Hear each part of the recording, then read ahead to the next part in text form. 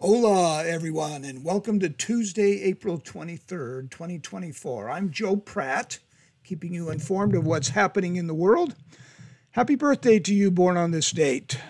Uh, you share a birthday with James Buchanan, the president, Warren Spahn, William Penn, Shirley Temple, Roy Orbison, Valerie Bertinelli, George Lopez, and William Shakespeare. President Biden is campaigning in Florida and making abortion rights the issue there.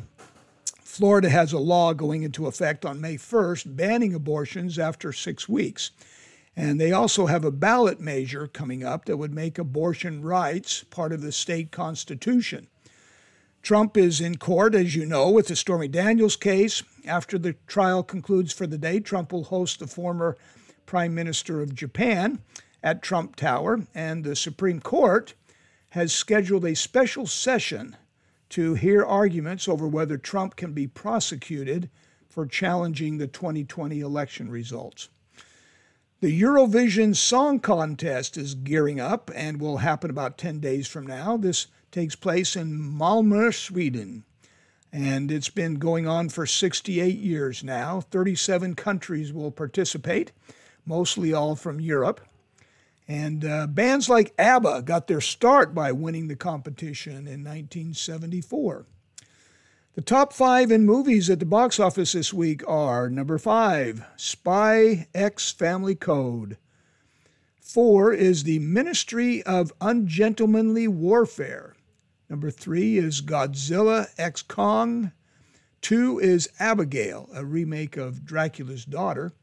And number one again this week is Civil War.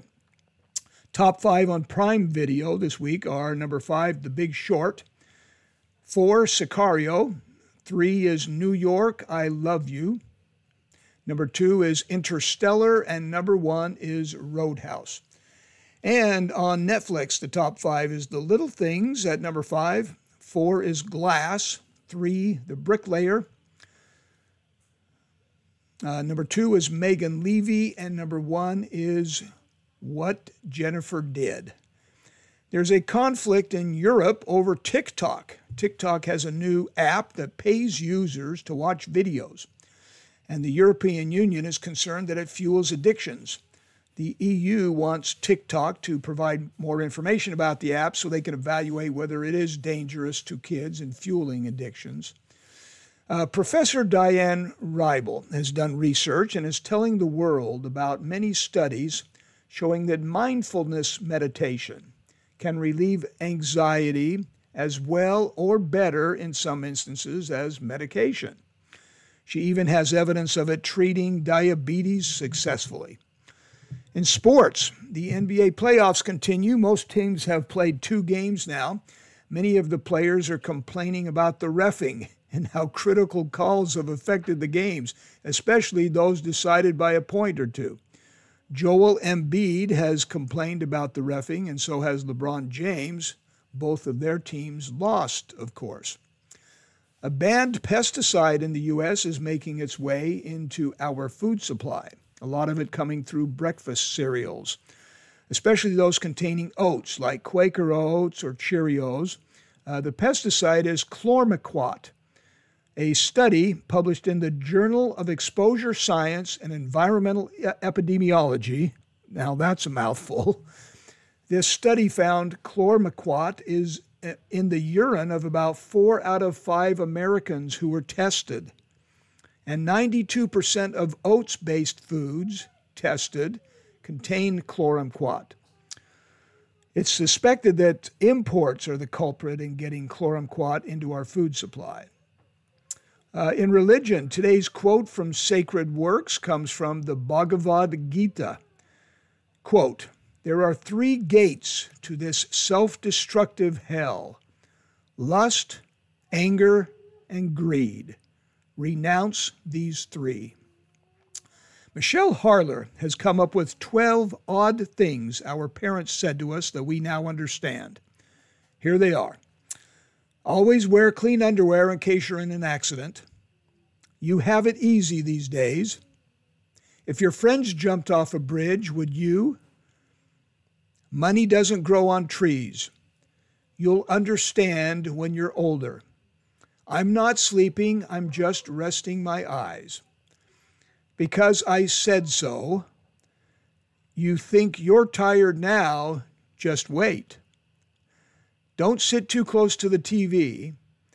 And when I was your age, I would like to add two of my own. How about don't cross your eyes, they'll stay that way. And don't forget to wash behind your ears. I never did quite get that one. Uh, a financial advice website is doing a promotion where they will give $1,000 to a person who hasn't seen any of the Star Wars movies. They want the person to watch all nine of the Star Wars movies and then they give their opinion of how they would rate them.